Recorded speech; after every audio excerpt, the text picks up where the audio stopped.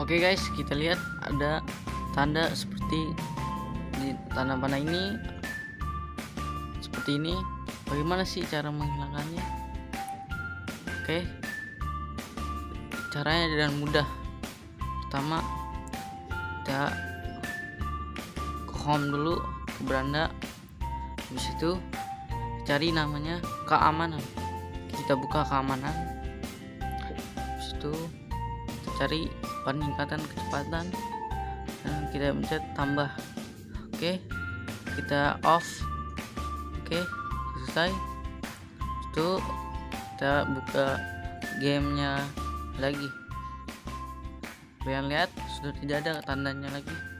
Oke dan lupa subscribe. Tandanya sudah hilang guys